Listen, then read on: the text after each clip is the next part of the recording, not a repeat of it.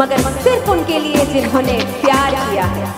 क्योंकि प्यार करने वाले जानते हैं कि आन बान और शान से जीना किसे कहते हैं।